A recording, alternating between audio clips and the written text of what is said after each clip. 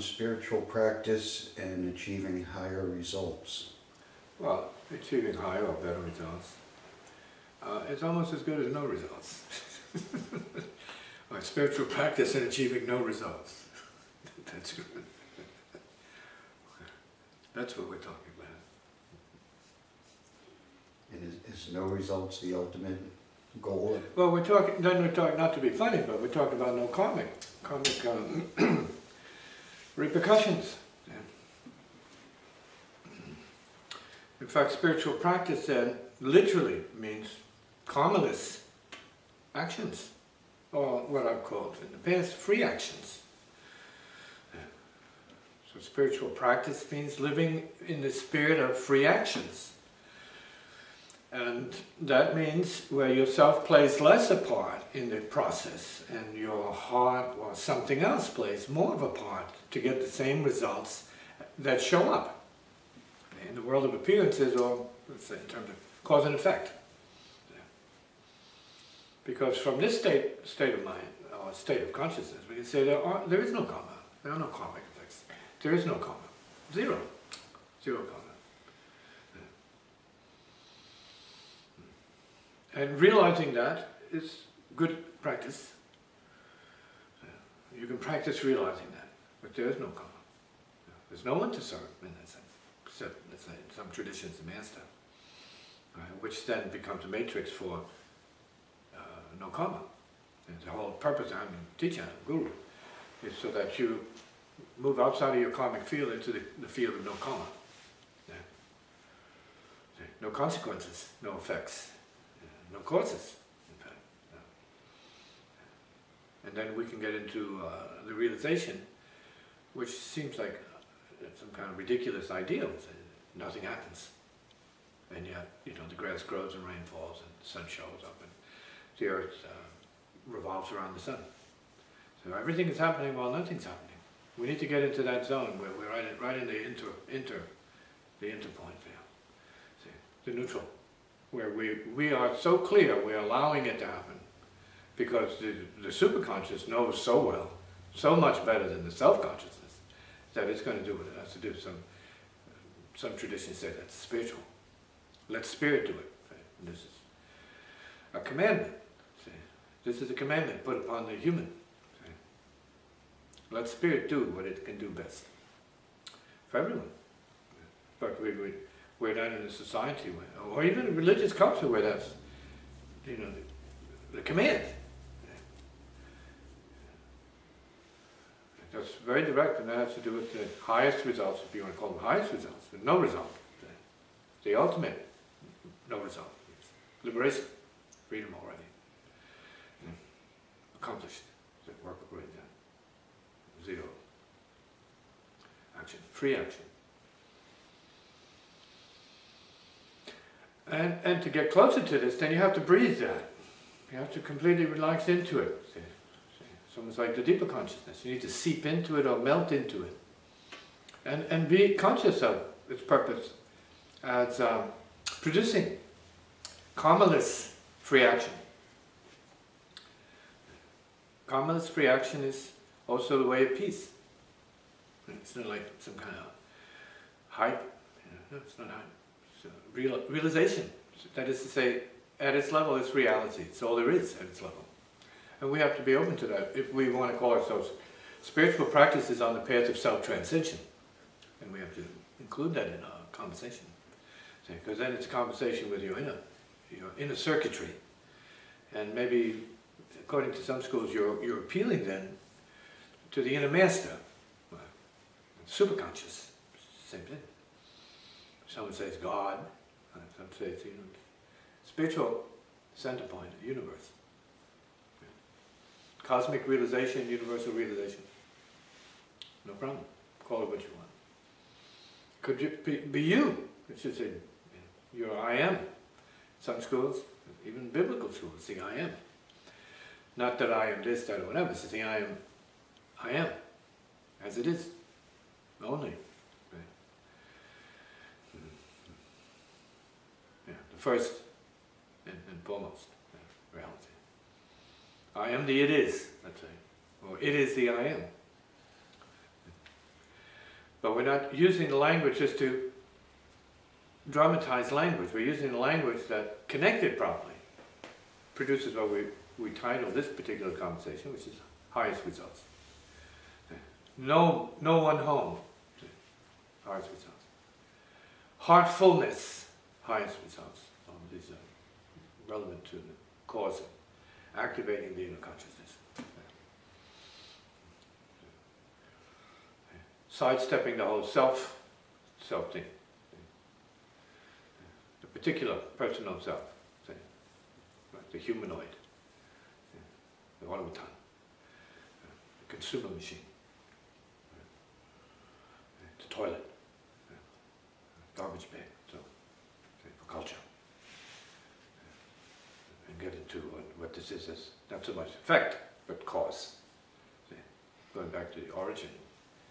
See, and the origin then is light itself. No karma.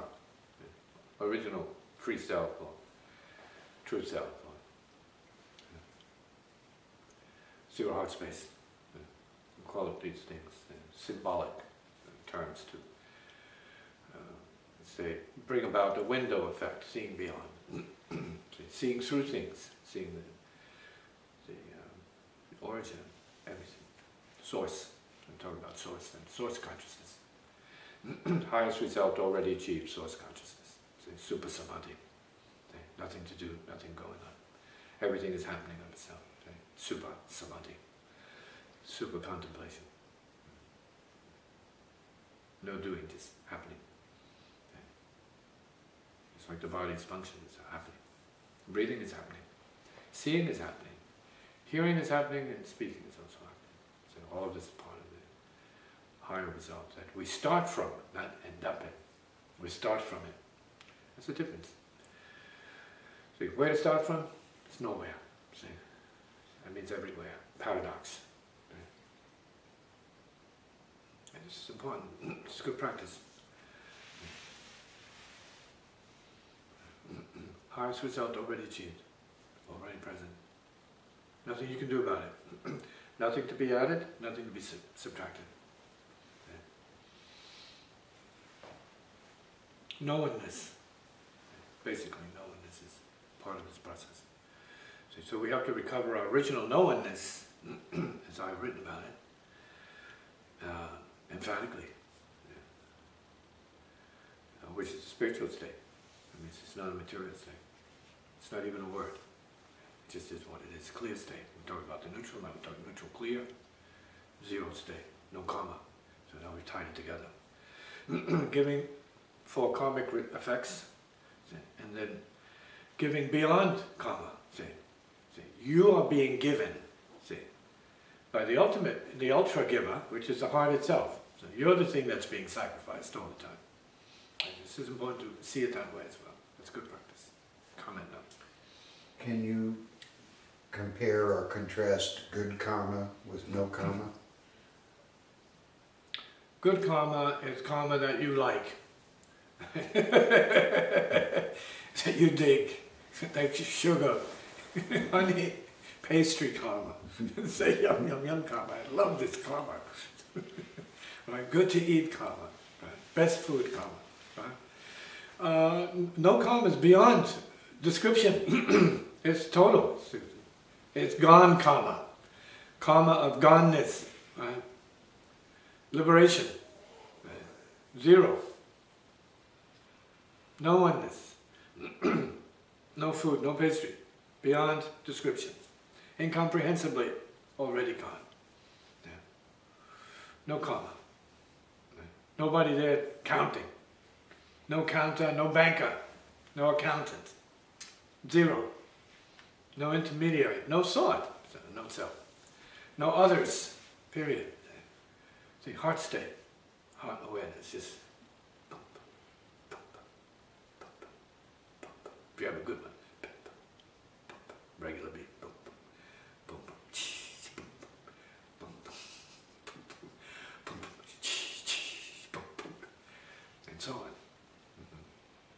Heart.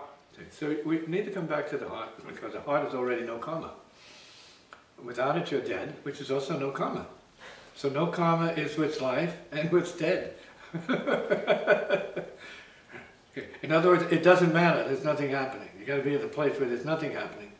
In order to be free enough to be able to do what it is, your actual river blood karma, what's gathered, collected, and sort of like embodied around you uh, as a foundation to be able to accomplish in this particular life. So then it's a paradox. You have the karma which has nothing to do with you, and you're able to accomplish that karma which has nothing to do with you. And that depends on where you are in this ship, see. That is using the body, the earth body, to travel through space and time. And the practitioner is in the most advantageous position relative to that. In fact, the sweet spot where it happens by itself.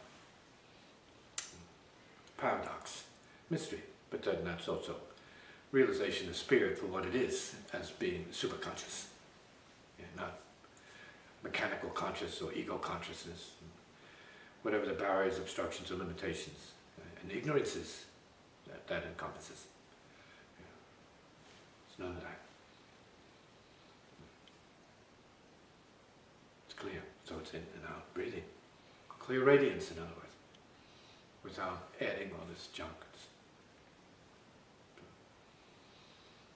Free breathing, free of karma. Mm-hmm. Clear. So by what means does one get from karma, good or bad, to no karma? Because there is no karma, so what are you talking about? See, there's already no karma. then karma is an assumption. Karma is a program, right, that, that congests and obstructs time and space from expanding. So we're talking about the mind that constricts, it contracts energy into itself, as itself, for itself.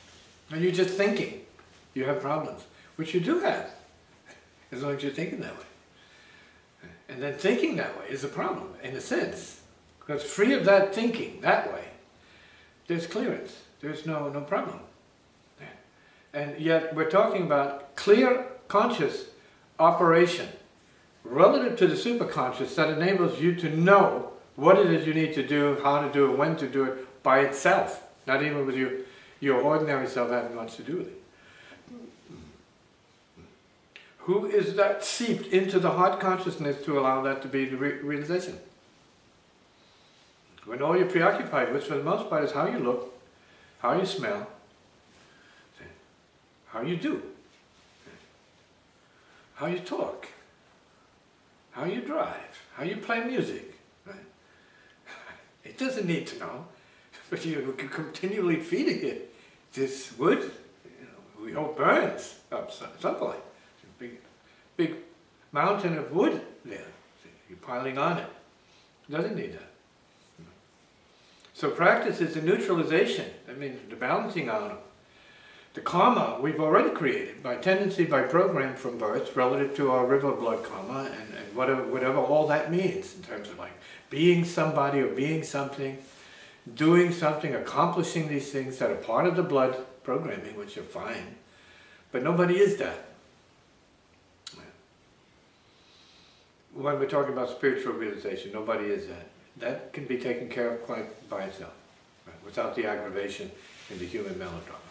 Right? And it is better to handle it from that place. Right? You disappear. And appear as needed. Make your appearances as needed. But you know who's, who's really running the show then. And all that consciousness that is supposedly there in the brain is put to higher use, a higher purpose. All that brain power. They say we two, five percent we use it because it has better things to do. And this is one of the better things you can do, is to live your life for you, because you're not living your life for yourself. your heartbeat is not dependent upon what you do in a sense, unless you stop it somehow dramatically. Your hair, everything that's going on in the body is controlled by something else. So give it back to its source, in a manner of speaking. Merge with the source. This is what meditation higher meditation is about. Stepping out of the way. But we're so addicted to our functioning in a certain way. It's, it's very dangerous to, to propose to even your self-mind that you're going to step out of the way and take, take over. Because you can't, you can't do that successfully unless you have a lot of training in the transition. You got to know what, what the self is. and You got to know beyond that what, what the thing is that you're going to be turning it over to. We, we don't know enough about that yet. Ordinarily, that's why people join these uh, works so they, they can understand more about the unconscious, in a sense, the, or the superconscious, as we've been calling it, the superconscious, yeah, and its function and its all. It's a world of uh, doing, karma, acting, and experiencing see, as a self. Self-realization means entering selfless realization. Selfless realization means putting it back on source. How important is a sense of humor or a sense of playfulness to achieving the no karma? How important is it? Well, it's not going to cause it to show up. but when you get, the closer you get to it, the more ridiculous everything else seems. So yeah, you become more humorous, maybe even mad in a sense. But not as a strategy. It's just a pure response to, you know, what's happening that isn't creating the right results. It's funny. It's like a joke. You stand in the way, you're laughing at yourself, you're crying about yourself, it's all, all about self. And so we have to see that. We're, we're the thing we're trying to get rid of all the time. We're the thing we need to get behind all the time. Only that. Just think how life would be if you weren't there. In other words, if you weren't there to enjoy it, how, how, how enjoyable would your life be? Yeah, it's kind of a joke. We have to see it as such because we're talking about the no-self. And that's like an absurd proposition for peace. But in fact, it's real because we, we are selfless by nature. And we assume self. So as somebody starts pointing at us, say, you, you, you, you, you, we start assuming that it's more than what we are. So we are reduced to that. Oh, you come down to that. And then you live that. Because you, you feel you, you justify it somehow. You rationalize that you have to live that way. Otherwise your peeps won't accept you. You have to be this thing that they're talking about. Mm-hmm. And then when you get to the Guru's house, you say, what is that? There's nothing. What do you mean you're something? There's nothing. You got to get back to what you really are. It's nothing. Comment on that. It seems that every culture, you know, reinforces that self mechanism. So, you know, the temptation is to call it a universal thing and thus a true thing. You know. Well, it is a thing, and it is an important thing. Everything is important. So the idea to be able to use itself as a program is given to us to be used as, uh, so that we have the liberty, right? The, the creative uh, liberty and opportunity, being more than self, to operate from what we can call the heart center, heart space, so compassion. Compassionism, as I recently coined it, compassionism, using your right to compassionism. a lot of people say, oh, they're against isms. And other compassionism is good ism. Come. Um, I'm just trying to think of, you know, the impossible, how you get from, You're already there. yeah, You're already there. You, see, you, just, you are refusing to be there. That's what's making you laugh. Your resistance to be beyond yourself is hilarious to you. well, it's a ridiculous proposition because you don't exist. You laugh at that. You're going to die laughing over that one. so this guy's crazy. He says I don't exist. and I'm here laughing at him. Phrase. exactly. Right? Dumb, the wisdom. Right. My point. So, so you're not that. You're not the unhappiness. You're bliss. Right now you had a moment of bliss. See? Heart expanse. Humor, call it that, but it's heart expanse. So part of you is saying it's laughing because it sounds ridiculous, but at the same time it's laughing because that's its nature. Bliss is the nature, original nature. Ah, Highest bliss. Hmm. Really? That's what it is. It's not some things beyond that. It's not limitation, it's not confinement, it's not materialism. It's just bliss, pre-energy. That means it doesn't exist. It's nothing. So we need to be careful that we don't step over the edge of sanity. Because that's too easily done in this idea, you know, in this world and such. And this is sanity. This is happiness. Relative to understanding the, the true nature of bliss and our reali reality, or true reality is what is real. Heart first. Spiritual realization. High, highest result, maybe, or maybe least result. No result. Means beyond results. Not to be boxed. So we are that, the divine human. We are divine human. Not every moment, because you know circumstances that own us don't allow us that. But that can happen, as it may have happened a little bit here uh, this evening, for the few who understand that. We have to create our openness to what that is. You have to create your openness to the inner worlds. You have to create and allow yourself to be open to the spiritual worlds, beyond your self-mind and your programming, and beyond this culture and its uh, taboos and limitations and so on and so forth. It's prejudices. It's oppressiveness relative to spirituality and its impressiveness relative to materiality. Yeah. God wants you to look better, not to really be better, to look better, to have more, at the cost of having less consciousness. You have more stuff, less consciousness. I'm not saying that's a true absolute equation because you can have a lot of stuff and still have a lot of consciousness. But you don't see that when you're buying something. Uh, you don't see that on the, on the tag. Don't forget your consciousness. You're paying a thousand dollars for this little pair of socks here, but don't forget your consciousness. See? Comment. So we, we make an assumption of having free will, but it seems like as long as we're operating under beliefs and Then it's just a thought, then it's just a phrase. It's not a phrase. The universe is a phrase, but we know that's the space where we're in. You don't have to even imagine it. The earth is like this living being, this wonder of nature. It's a miracle, miraculous. You're not projecting that, it's obvious, it's present. And we're breathing what's left of the oxygen on the planet. We're not projecting that, it's fact. We have to know the facts and keep it real, understand that. What we're talking about is related to the reality. You know, E equals mc squares. Say Einstein's take on, on this. We have, in other words, we are, we are infinite spiritual potential in the body.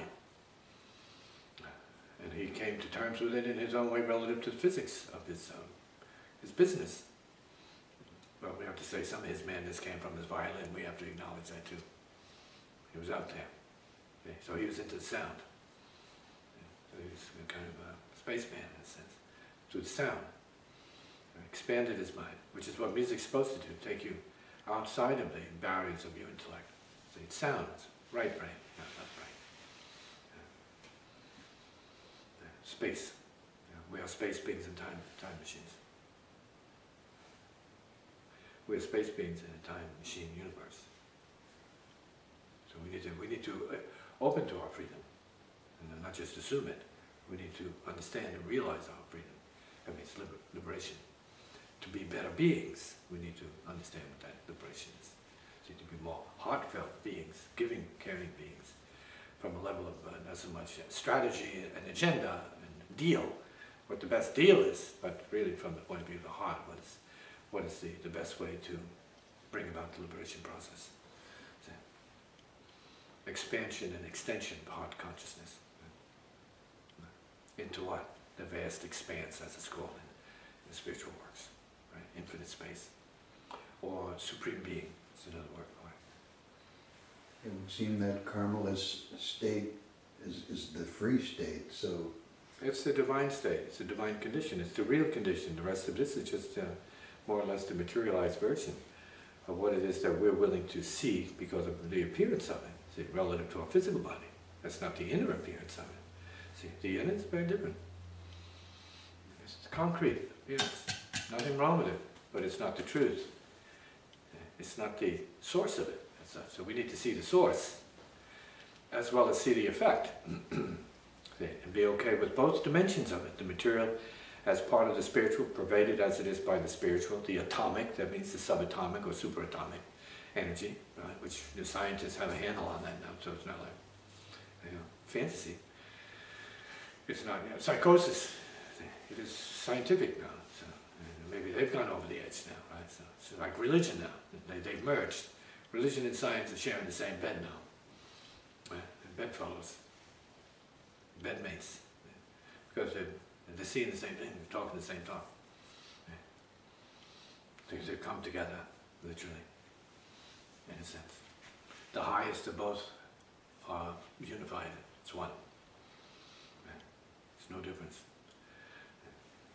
One is science, the other is religion, and they're the opposites. You have religious scientism now, scientific religion now.